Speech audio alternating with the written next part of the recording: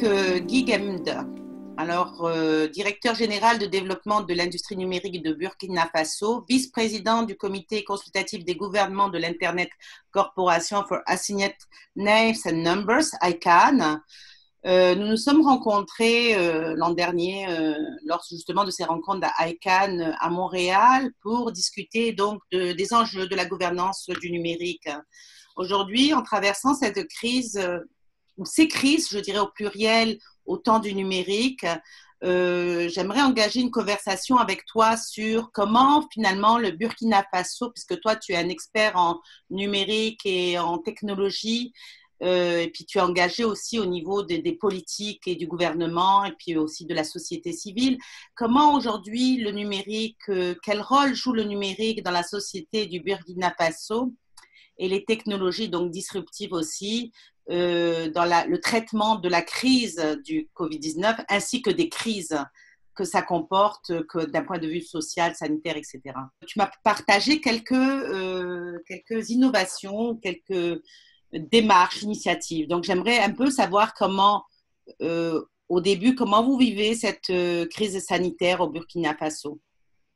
Ok, très bien. Merci beaucoup, Amina, pour l'interview, l'entretien que tu accorde en tout cas à ma modeste personne au fin fond du Burkina Faso à Ouagadougou. Voilà, je pense que tu m'as déjà présenté. Je suis Rodrigue Guigemde, Jacques Rodrigue Guigemde.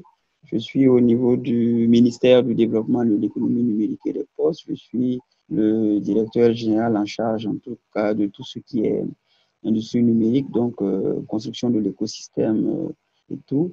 Alors, euh, parallèlement, comme tu l'as si bien dit, je suis aussi au niveau du comité consultatif des gouvernements de l'ICANN, qui est le Internet Corporate for Assignments and Numbers, ICANN. Donc, je suis là-bas en tant que vice-président depuis novembre dernier.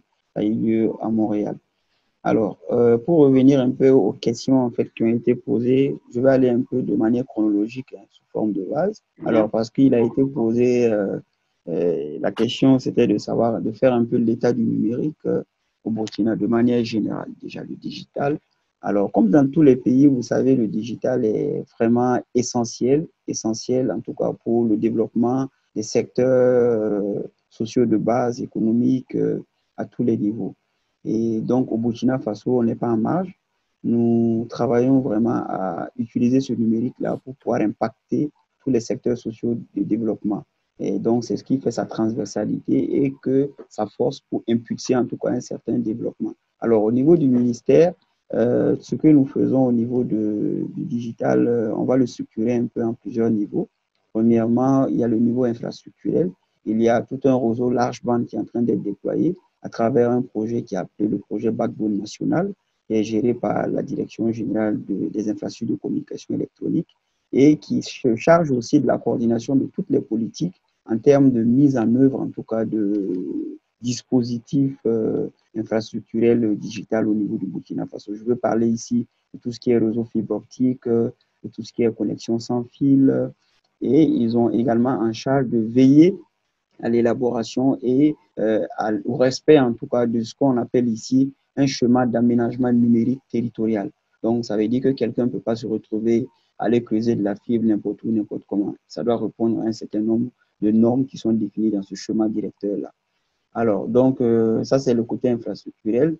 Vous avez aujourd'hui tout ce qui est politique, euh, programme euh, au, niveau, au niveau du digital au Burkina. Il y a une direction qui est en charge de tout ce qui est technologie de l'information et de la communication. Je veux parler des politiques en la matière qui s'occupent un peu de l'élaboration de ces stratégies.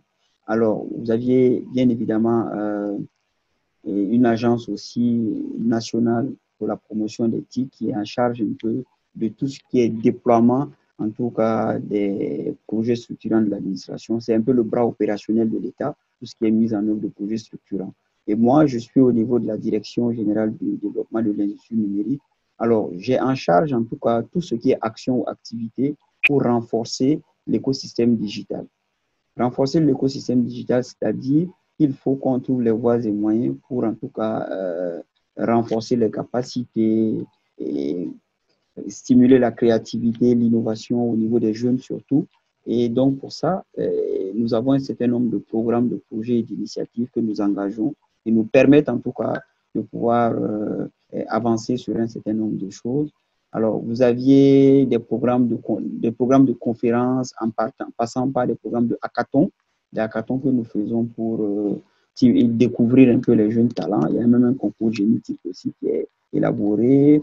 On a également, à côté de ça, une fois qu'on organise tous ces concours, ces formations et tout, on se pose la question qu'il faut quand même qu'on arrive à faire la promotion de tout ce que nous avons trouvé comme génie là.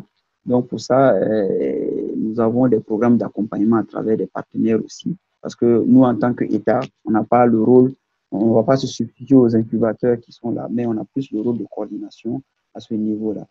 Donc, il y a également le programme en fait de Technopole. C'est un projet qui est très ambitieux pour créer une ville futuriste qui va nous permettre en tout cas euh, de pouvoir concentrer tout cet écosystème, créer un certain dynamisme à certains niveaux. À côté, il y a beaucoup d'événements aussi qu'on organise hein, pour toujours stimuler l'écosystème, euh, créer la connexion, le relationnel. Et vraiment, c'est pour créer tout ça que nous, en tout cas, on est là. C'est notre cœur de métier ici au niveau de la Direction générale de développement de l'industrie numérique. Quelle est la question de la fracture numérique au Burkina Faso? Comment elle s'exprime? Est-ce que c'est une histoire d'accès ou une histoire qu'on appelle plus la, euh, la fracture numérique euh, au second degré, qui est euh, la littératie numérique, l'accès à la littératie numérique Ok. Oui, euh, en termes d'utilisation du numérique au niveau de, au, niveau de l'enseignement, hein, je peux dire ça de manière générale. Au niveau de l'enseignement, je crois qu'il y a des initiatives au niveau du Burkina euh, qui ont été, qui ont commencé il y a quelques années à travers des jeunes start-upers. Le gouvernement aussi a pris des initiatives pour booster un peu le e-learning aussi. Mais ce que vous dites, c'est pertinent. Est-ce que nous avons toutes les prédispositions pour accueillir ce e-learning? Parce que eh, c'est important d'avoir une certaine stabilité en termes de connectivité. Ce qu'il faut se dire, euh, c'est que vraiment le gouvernement fait des efforts parce que bien qu'il y a deux ans, il y a eu ce que nous avons appelé ici le point d'atterrissement virtuel. Parce que vous savez que le Burkina est un pays enclavé. Nous n'avons pas accès à la fibre directement sous-marine. Donc, euh, nous sommes obligés de récupérer cette capacité-là au niveau des côtes pour les amener au niveau du pays.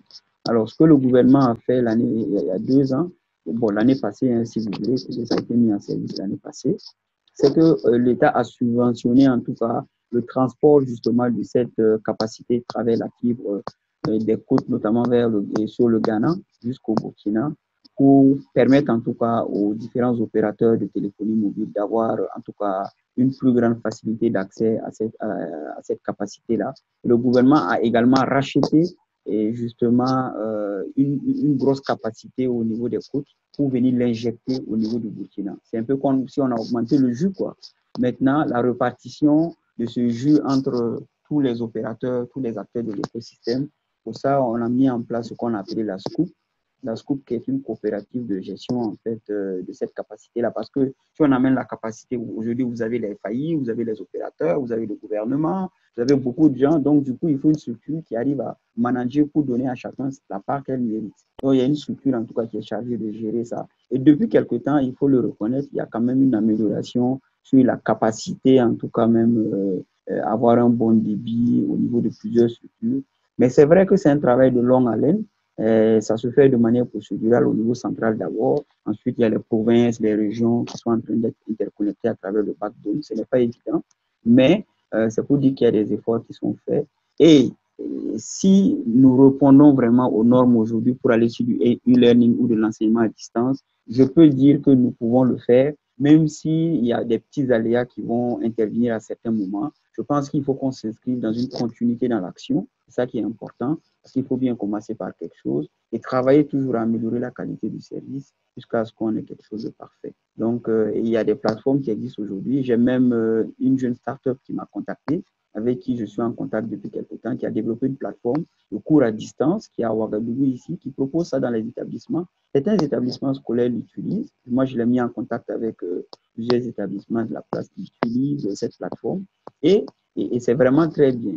Et aujourd'hui, on est aussi en train de regarder une autre option, c'est d'utiliser aussi la télévision comme euh, canal en fait de, voilà, comme canal d'enseignement. Voilà, donc la télédiffusion, donc on est là-dessus aussi. Je crois que il y a des actions qui vont être prises dans ce sens. C'est vrai que les prérequis en termes de mise en place d'une télé dédiée à cela, parce qu'aujourd'hui, il n'y a pas une télé qui est dédiée à cela, parce que il faut, il faut des télés dédiées, puisqu'il faut pouvoir respecter des programmes en termes de contenu, que les gens puissent suivre, coachés par des gens à la maison. Ce n'est pas toujours évident, mais je crois qu'il y a des actions qui, qui sont en train d'être faites. On est également ouvert à des partenaires qui peuvent nous aider à aller beaucoup plus vite. Parce que quoi qu'on dise, tout ça, il faut le faire avec, euh, faut le faire avec du budget. Et il y a des budgets qu'on a pu trouver avec des partenaires. On essaie d'avancer sur certaines actions, mais il, faut, il faut encore plus si on veut aller vite. Voilà. Comment vous vivez cette crise déjà?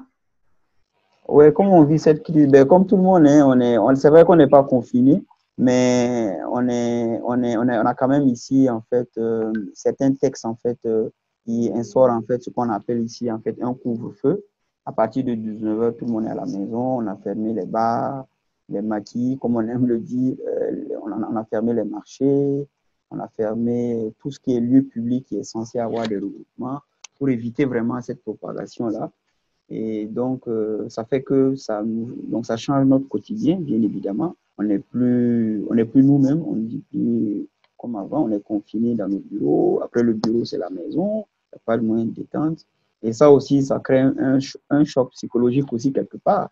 Je pense qu'il faudrait que les gens se préparent à ça aussi, et ce n'est pas toujours évident.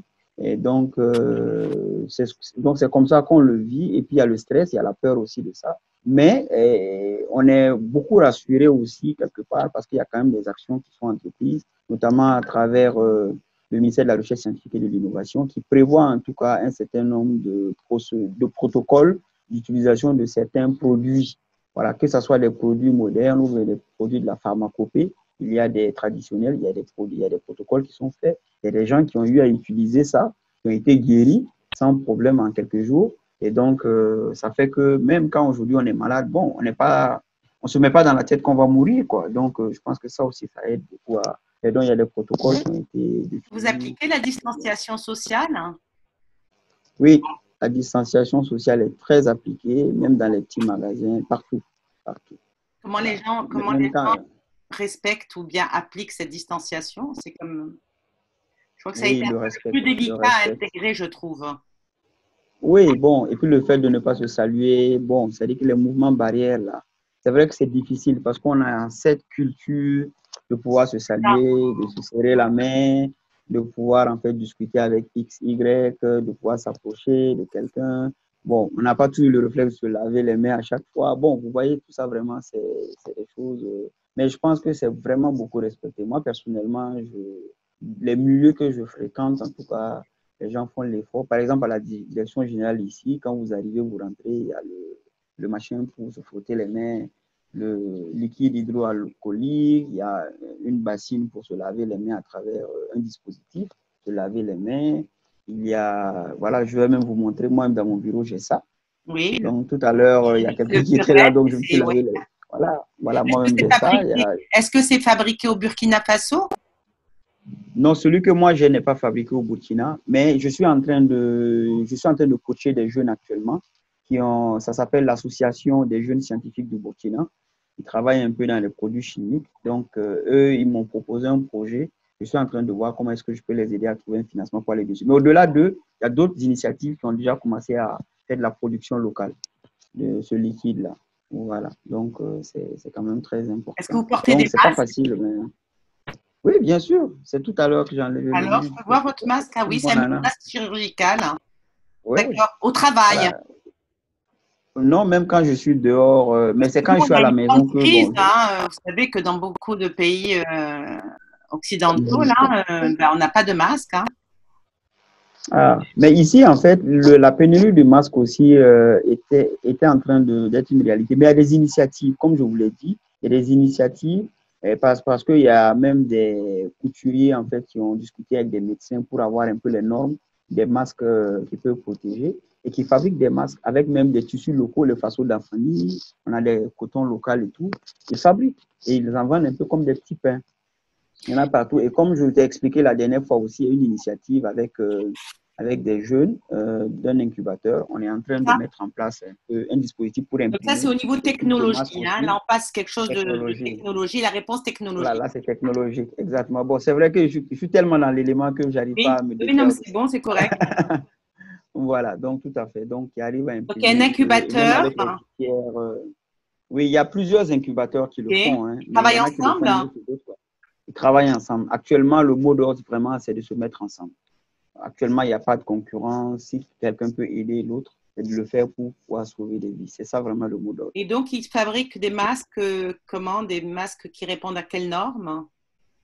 Alors, il y a les médecins qui ont, qui ont je pense, bon, je n'ai pas trop de détails techniques là-dessus, hein, mais je pense qu'il y a un certain nombre de, qualités au niveau du tissu avec lequel c'est fait. Il y a du plastique à mettre dessus. Il y a toute une méthodologie à faire. Donc, je pense qu'ils ont discuté. Tous ceux qui en fabriquent, en tout cas, vont d'abord se faire homologuer auprès de, de, certains médecins. Et puis ici, n'oubliez pas aussi, on a mis en place en fait euh, ce qu'on appelle le haut conseil scientifique qui homologue un peu un certain nombre de choses, qui a même mis en place un comité ad hoc pour accélérer un peu les prises de décision. Donc, il y a un haut conseil scientifique. Même toutes les innovations technologiques euh, avec les jeunes que nous euh, initions ici, nous allons les voir, ils examinent, ils donnent une décision et ils font des recommandations au gouvernement. Mais ça, c'est vraiment des délais assez, assez raisonnables et intéressants.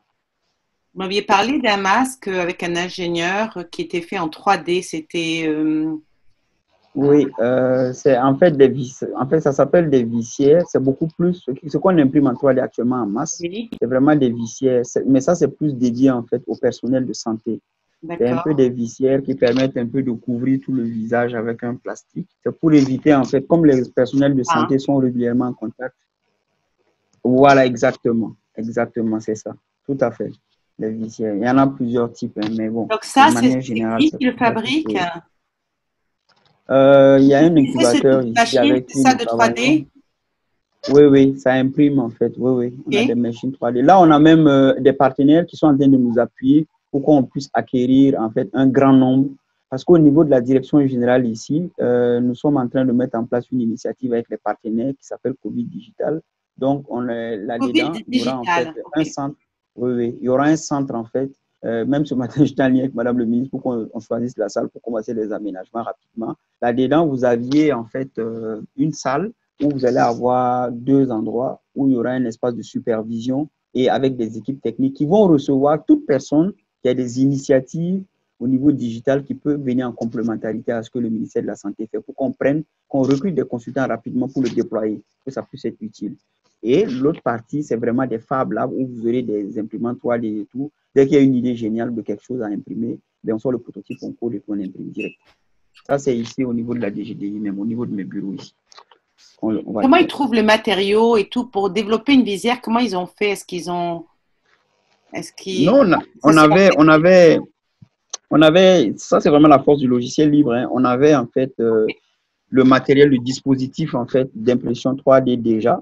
Parce que nous, on était déjà dans tout ce qui était créativité, Fab Lab et tout. On avait déjà acquis un certain nombre, ce qui a été un avantage. Alors, pour le code source qui permet de pouvoir faire l'impression, vous savez qu'il y a certains guides qui ont pu développer en tout cas des codes sources pour imprimer un certain nombre de choses. Je pense que c'est en Belgique ou en France. Oui, en Belgique. Oui, j'avais entendu parler en Belgique, oui. Voilà, c'est des en open source. en open source, ça a été mis à disposition. Nous, on l'a pris, on l'a adapté et puis ben, on y va. quoi. Et vous l'imprimez? C'est ça. Voilà. Est-ce que vous arrivez à en faire des grandes quantités ou comment ça c'est comme euh? Bon, euh, pas en très grande quantité parce qu'actuellement, on, a, on est un peu limité en machine 3D. Mais comme je l'ai dit, un partenaire qui va nous le fournir dans maximum une semaine. Et aussi, euh, on est en train de discuter et négocier avec ce qu'on appelle, il y a une manufacture ici qui s'appelle Faso Place. On a une usine ici qui est spécialisée dans tout ce qui est plastique, qui fait de la fabrication depuis bon, depuis plus d'une cinquantaine d'années, ils sont dans ça. Donc, on est en train de les approcher pour nouer un partenariat au plus tôt pour que dès qu'une grosse pénurie va se faire sentir, que rapidement, on commence à faire de l'impression de la production de masse. Donc, de visière. Hein? hein? De, que ce soit de visière, il y a également les respirateurs. Hein? Il, y a, plein de trucs. Il y avait les masques, il y avait les respirateurs aussi. Vous avez commencé à en faire des respirateurs? Oui, on a déjà les premiers prototypes. Je crois qu'on en a deux, mais j'en ai pas ici. Et ça aussi, c'est des codes sources que vous obtenez sur, euh, sur Internet Oui, euh, oui, mais il y a certains codes aussi qu'on développe ici. Hein, on développe ici. C'est vrai que c'est de l'open source. Vous êtes très proactif dans le fond. Hein, vous êtes quand même réunis. Est-ce que vous avez, comme par exemple pour les imprimantes 3D, assez de matériel ou est-ce que Vous avez des aides extérieures pour ça euh, Comment ça se passe? Non, on n'a pas, assez de, matériel actuellement. On, on, fait avec les moyens de bord. Et comme je dis, il y a des partenaires qui sont manifestés, notamment euh, il y a le programme des Nations Unies, le UN, qui nous accompagne sur beaucoup de choses. Ce matin, on a même fait un don de matériel. Bon, tu vas sûrement voir ça dans la presse, parce qu'on a fait ça ce matin. Demain, il y a le, demain, il y a le avec eux. Parce que je t'informe déjà en passant qu'il y a la Banque mondiale aussi qui a validé. On va bosser avec eux aussi. Demain, ils seront dans le webinaire. Voilà, donc euh, on a donc on a ça. Et il y a aussi la coopération belge aussi, à travers leur structure Enabel, qui aussi euh, nous a proposé, c'est eux-mêmes qui vont financer en fait l'aménagement en fait de la salle Fab Lab en fait dont je t'ai parlé tout à l'heure, oui. qui est juste à côté. Que vous allez agrandir. Oui, oui, on va carrément faire quelque chose de neuf, quoi, de bien, de très bien. Pour que Et ça, vous le faites dans l'urgence? Vous arrivez à le faire dans, comme dans l'urgence? Oui, dans l'urgence. Là, on a fait les requêtes, tout est OK. Et puis, bon, je crois que la semaine prochaine, ils vont commencer, quoi. Ils vont faire les trucs rapidement. oui. Le Monde aussi a parlé au Burkina Faso une application pour de déceler les symptômes du coronavirus. Alors ça, c'est aussi euh, assez impressionnant. Euh. Tout à fait, tout à fait. Je vais expliquer ça un peu. Euh, en fait, j'avais organisé, vous savez, comme j'ai dit, j'organise beaucoup d'hackathons. Hein. Donc, donc, la culture du hackathon même s'est installée ici au Burkina. Les jeunes, même les petits jeunes qui, qui ne savent rien en codage, ils ont envie de, toujours envie de bricoler un petit truc. Et ça, c'est bien. Moi, ça me rassure parce que, bon, moi, ça prouve, moi, ça prouve que le boulot qu'on fait n'est pas, n'est pas jeté en l'air. Alors, euh, le projet, il s'appelle Faso Civique, je crois. C'est une association. Ils ont entendu parler, en fait, d'un hackathon qui s'est déroulé à Ouan, à l'épicentre, en fait. Il y a du coronavirus, là, au début. En ce moment, il n'y avait même pas de coronavirus au Burkina. Non, on ne savait même pas qu'on allait être concerné un jour. Donc, quand ils ont vu, ils ont, ils ont postulé, puisqu'ils avaient deux membres de leur groupe qui étaient même à qui, qui étaient des étudiants là-bas. Ah Donc, ils ont postulé. Et, dans, les sélections et tout, il n'y avait que deux pays africains qui étaient là, le Burkina et le Ghana. Et puis le Kenya, pardon, et le Kenya. Donc, quand on est arrivé au next step, il y a le Kenya, je crois, qui a abandonné. Ils étaient les seuls et ils, ont été parmi les douze premiers. Malheureusement, ils n'ont pas été parmi les trois premiers et tout. Donc, ils ont, lorsqu'ils sont revenus, ils ont présenté leur solution à Madame le ministre, qui a vu là en tout cas une opportunité que ça puisse contribuer à la lutte en cours. Puisque eux-mêmes, ils ne savaient pas, comme je l'ai dit, que ça allait arriver au Burkina, mais quand c'est arrivé, ils ont vu, ah bon, on est, on est allé faire des hackathons pour sauver les autres, mais là, on est nous-mêmes dans le, dans le bateau. Donc, c'est dans cette dynamique qu'on s'est dit, bon, OK, on va essayer de voir comment est-ce qu'on va les accompagner pour déployer tout ça. Donc, on a commencé à, à travailler là-dedans. Mais après, je pense que sur les aspects juridiques, euh, et puis il y a un format, il y a une forme en fait qu'on devait mettre à tout cet accompagnement. Ça n'a pas été le cas, donc ça fait qu'il y avait, donc ça coinçait un peu avec certains partenaires. Mais c'est pas un projet qui est mort, hein, c'est pas, pas mort. Donc on a, on a, on a reformulé un peu comment est-ce qu'on allait gérer tous les projets. Parce que moi je suis allé d'un principe où euh, il ne faut pas privilégier un seul projet. Parce qu'aujourd'hui, il y a tellement de projets qui nous arrivent tout le temps, qui sont très adaptés au dispositif du ministère de la Santé. Parce que le ministère de la Santé a déjà aussi développé des solutions rapidement qui fonctionnent. Donc, pour moi, une solution qui arrive, il faut qu'elle soit utile, pérenne et qu'elle réponde à un besoin au niveau du ministère de la Santé. Parce que sinon, tu fais la plateforme, si le ministère de la Santé ne l'adopte pas, bon, après, ça ne sert à rien, quoi. Donc, euh, il y a ce truc-là au niveau du ministère de la Santé qui va nous permettre de pouvoir mettre tout ça en relation. C'est même l'objet, en fait, de cette harmonisation du webinaire de demain. Donc, ces jeunes-là, effectivement, ils, ils, vont se mettre également dans cette lancée. Mais j'ai déjà présenté leur projet au niveau du comité scientifique, qui est OK. Bon, OK, je n'ai pas vu un document officiel qui le dit, mais je pense qu'en principe, il n'y a pas de problème. Donc, il y a, y a ça. les enjeux Sinon, euh, Pardon? Les, les, difficultés ou les enjeux d'adopter une application comme ça? Alors, vu que c'est vraiment dans le domaine de la santé, il y a quand même des dispositions à prendre. C'est très important. Sinon, on ne va pas prendre le premier venu. Il faut qu'on arrive à associer des médecins qui se disent que ce n'est pas dangereux pour la santé des gens, qu'on valide un certain nombre de choses. C'est là le rôle vraiment du comité scientifique. Donc, il y a quand même des enjeux ici. Et comme je l'ai dit, il faut que ce soit des plateformes qui viennent en complément de ce qui existe déjà au niveau du gouvernement. Parce qu'il y a plein de gens qui développent des plateformes par-ci, par-là et qui ne savent même pas comment la cellule de crise fonctionne. Pourtant, Une plateforme, elle est développée sur la base d'un besoin. Là, quand ça vient, ça répond à un besoin. Si ce n'est pas le cas, c'est difficile. Donc, Giant.me, c'est ça le, le nom de leur plateforme, répond vraiment à un certain nombre de principes, mais ils sont dans le circuit de pouvoir faire adopter de manière officielle. Je pense que hier même, quand on a fait l'annonce du webinaire de demain, on a, on a fait, on a profité de faire un appel à projet, puisque j'ai fait ça pour mettre un peu de, pour stimuler un peu le webinaire en disant à chacun de proposer des solutions. On va retenir les cinq premiers qui auront l'occasion de faire des speeches devant le PNUD, de, euh, l'UNCDF, la Banque mondiale et tout. Donc, quand j'ai vu ça, depuis hier, on a reçu plus de 35 projets en moins de 12 heures de temps. Mmh. Actuellement, les inscrits sur le webinaire, on est à plus de 300 inscrits sur le webinaire qui sont inscrits déjà pour participer au niveau national et au niveau international.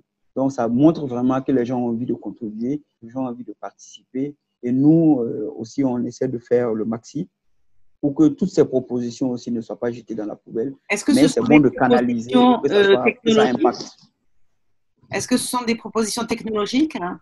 Oui, en majeure partie, me concernant, c'est des propositions technologiques parce que nous sommes un ministère euh, qui est chargé euh, de gérer tout ce qui est digital. Donc, euh, on va plus se focaliser sur les solutions digitales qui sont proposées et dans la majeure partie des cas. Par exemple, je vous dis, il y a des solutions aujourd'hui qui permettent de faire du diagnostic, de prendre la température automatiquement. J'ai même vu un qui a proposé un truc ou rien qu'avec ta photo tout de suite là, il peut te dire tu as combien de degrés, quoi, température, fonction du visage et tout ça. Mais tout ça, c'est des modules en fait qu'on va aller mettre pour implémenter et rendre beaucoup plus robuste tout ce qui est déjà dans l'existant. Et aujourd'hui, on est dans un modèle qu'on va présenter demain, bon, la primeur. en fait, sur ce modèle, euh, on va tout faire en fait pour que euh, le partenaire, en fait, le bailleur de fonds soit au courant de ce qui se passe et s'il y a du travail à faire pour le connecter, souvent c'est des jeunes qui n'ont pas toute cette expérience en fait euh, pour connecter les bases de données, pour que ça aille très vite là-dessus. Donc, nous avons sollicité aussi du budget pour que s'il y a besoin, qu'on puisse avoir en tout cas des experts qui nous permettent qu'en en deux, trois heures, qu'on implémente quelque chose et qu'on le rende fonctionnel. Bon, donc c'est un peu comme des mercenaires, quoi, si vous voulez, pour nous permettre d'aller très vite, fast parce qu'on n'a pas le temps. Parce que l'innovation, c'est bien, mais la mettre en place rapidement, c'est un autre euh, problème. C'est un challenge. Et puis quand, je parle de, quand tu parles de, jouer de challenge, tu, as raison de dire ça, mais quand tu parles, par exemple, oui, aussi les enjeux par rapport à la santé, est-ce qu'il y a les, la crainte aussi qui est des, au niveau des, du, de l'éthique, au niveau du traitement des données personnelles, etc. Comment vous vous positionnez par rapport à ces questions de, protection de, des données personnelles, de la vie privée, de l'éthique, surtout quand c'est santé et, société, quoi? Tout à fait, c'est ce que j'ai dit. Hein. Euh, c'est pourquoi justement, il faut que tous les acteurs en se parlent pour valider un, seul mécanisme. Parce qu'actuellement, je vais vous dire, ça va dans tous les sens. Moi, je reçois plein de emails et il y a des gens qui sont placés qui me disent non, prenez telle solution parce que voilà. Bon, vous savez, c'est pas facile en fait pas facile. Donc, c'est ça la nécessité. Donc, justement, ce que vous posez comme problème ici, c'est extrêmement important du point de vue éthique, puisque c'est des données qui vont être collectées et on ne sait pas qu'est-ce qu'on en fait après. Ensuite, euh, les données personnelles et tout. Ensuite, il y a même euh, l'influence que ça peut avoir sur l'état de santé. Parce qu'aujourd'hui, tu peux avoir quelqu'un qui a une plateforme qui te dit que euh, il prend ta température, alors que c'est faux. Imaginons la personne va dire après, ah oui, j'ai même diagnostiqué avec tel outil-là, mais ça marche bien, je n'ai pas de problème, je ne suis pas malade, alors qu'il est malade. Vous voyez le danger.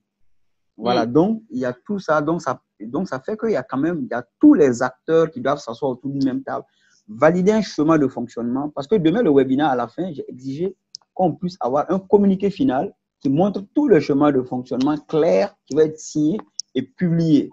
Voilà, celui qui a une plateforme aujourd'hui, voici la méthode pour pouvoir l'intégrer au ministère de la Santé. Tu viens au niveau du ministère de l'économie numérique, au niveau du Covid digital, tu viens avec ta plateforme, il y a, des gens qui vont te recevoir, t'écouter, te, montrer, te donner les infos, tester ta plateforme, etc. Après, tu vas aller au comité scientifique. Si ça, si ça collecte des données à caractère personnel, on te met en contact avec la commission de l'informatique et des libertés, euh, qui s'occupe en tout cas de tout ce qui est loi, d'application de loi pour les données à caractère personnel. Donc, nous, on a, la responsabilité ici de jouer le rôle de facilitateur. Parce que souvent, ceux qui font les plateformes, ils sont tellement concentrés sur leur plateforme qu'ils n'ont aucune idée des procédures, qui n'ont aucune idée en fait de tout ce qui est capability pour intégrer en fait au niveau d'un existant. Donc, si on ne les suit pas, on va avoir demain 10 000 plateformes, mais qui n'auront servi à rien du tout. Et ça, c'est très dangereux. voilà, on s'en voudra si demain ça arrive. Il y a l'urgence d'agir hein, et en même temps, il y a l'urgence et en même temps, il y a beaucoup de créativité, d'innovation. En même temps, tout ça, il faut réguler tout ça et c'est un enjeu. Tout à fait. C'est quand même pas mal. Euh, il y a eu beaucoup d'initiatives euh, que tu m'as partagées. J'étais assez impressionnée de votre proactivité, puis de j'ai hâte d'entendre de, le webinaire. Je me suis inscrite au webinaire donc de demain avec euh, Madame la ministre, etc. Et euh, est-ce que vous avez comme des collaborations africaines au niveau de, de vos développements technologiques, etc. Tu m'avais parlé un concours ou quelque chose ah oui, euh, exactement. En fait, personnellement, euh, j'ai des idées là-dessus parce que je suis aussi focal point pour certains un projet euh, de capacity building au niveau de Smart Africa. Smart Africa, voilà, c'est ça. Smart Africa, qui est une initiative mondiale, enfin africaine, hein, pas mondiale, qui est africaine qui a pour ambition, en tout cas, d'utiliser le numérique pour booster les secteurs économiques de développement au niveau africain. Ça rentre dans la continuité un peu des actions de la zone de libre-échange qui a été adoptée, dont le siège est à Accra, au Ghana. Parce qu'aujourd'hui, il faut créer une certaine fluidité dans tout ce qui est économie au niveau africain et c'est ça qui va nous permettre d'aller très vite. Donc, du coup, euh, à Smart Africa, euh, dès que le Covid s'est annoncé, Smart Africa a lancé un appel à projet pour voir dans quelle mesure il peut sélectionner des projets qui vont accompagner justement, euh, qui vont implémenter, déployer dans les États pour les permettre en tout cas de pouvoir faire face à la propagation du virus. Donc, je pense que la date limite, c'était il y a quelques jours. Ils doivent être en train d'examiner les projets et puis bon, on aura des nouvelles d'ici là, quoi, je me dis. Et ça, vraiment, ça viendra en complémentarité. Hein? Oui, bien sûr, bien sûr, je, je suppose, parce qu'ils vont financer aussi à un certain niveau. Euh, voilà, et puis, et puis faire ça. Mais c'est très intéressant, Jacques, tout ce que tu m'as, tu m'as expliqué, tout ce que tu m'as présenté. Merci du temps que tu as consacré aussi. Juste pour finir, j'aimerais avoir une petite idée, une petite note euh, sur l'histoire de la santé. Donc, chez vous, vous avez vraiment deux systèmes, ce que j'ai compris. Il y a le côté santé traditionnelle, le traitement traditionnel que tu mhm. appelles la pharmacopée, c'est ça? Pharmacopée, exactement. Et la santé traitée de manière, donc, euh, la médecine officielle. Hein, euh, Est-ce que tu peux me mettre quelques mots là-dessus? Parce que nous, on n'a pas l'habitude Oui, tout à fait. Alors, dans notre culture ici, comme vous savez, euh, en Afrique, on a cette force, en tout cas, de pouvoir utiliser la nature pour nous soigner. Ça, c'est quelque chose de fondamental. Et nos grands-pères, nos grands-parents, nos grandes-mamans nous ont en tout cas légué un certain nombre de, un certain nombre de choses, de, meilleures pratiques, si vous voulez, voilà, qui nous permettent en tout cas de faire face à certaines maladies. Alors aujourd'hui, vous aviez beaucoup de plantes qui permettent de résoudre certains problèmes. Il y a même une association euh, des tradis praticiens du Burkina qui sont très, ils sont très organisés. Ils proposent des produits euh, de la pharmacopée pour soigner des maladies telles que le paludisme, les maux de ventre, voilà, beaucoup, beaucoup, voilà, les ulcères, etc. Donc, et la manifestation, en tout cas, du caractère du virus du corona à travers les, les manifestations que ça peut avoir sur l'homme, ils ont essayé d'étudier pour voir un peu à quel niveau ils peuvent résoudre le problème. Donc, ils se sont mis, en tout cas, ensemble et réfléchi. Je crois qu'il y a des propositions qu'ils ont faites. Il y a des gens, en tout cas, qui ont utilisé et ça a très bien fonctionné. Au jour d'aujourd'hui, ils sont, ils, sont, voilà, ils sont guéris. Voilà, et donc aujourd'hui, euh, on peut dire que c'est quand même quelque chose d'efficace. Mais comme on dit, le véritable problème qu'il y a au niveau de la pharmacopée, c'est au niveau du dosage. Comme ce n'est pas très scientifique, ça fait qu'en fonction du patient, on n'arrive pas à, faire un bon dosage. Parce que faire du sous-dosage aussi, après, c'est un autre problème, du sous-dosage aussi. Donc, c'est cet équilibre-là. Donc, c'est pourquoi je pense qu'au niveau du comité scientifique, il y a une cellule qui a été mise en place qu'ils arrivent à. Parce qu'il faut arriver à faire la jonction entre cette pharmacopée-là et la médecine euh, moderne pour justement. Parce qu'il y a une complémentarité quelque part. Parce que même quand vous prenez en fait euh, cette médecine euh, traditionnelle et moderne-là, il y a quand même des choses de la pharmacopée qui sont utilisées après au niveau de la médecine moderne. Ah, c'est intéressant. Ils se rencontrent ensemble, aussi bien la médecine moderne que la, la, médecine traditionnelle, pour discuter de, de, leur expertise ou de leur expérience, en tout cas. Tout à fait. Voilà. Ah, Super. Écoute, merci beaucoup. Puis je vais te souhaiter une belle continuation et j'ai hâte d'écouter votre, votre euh, webinaire en tout cas. Donc, euh, et de voir la suite de, votre, bah, de, de, vos innovations technologiques. Hein.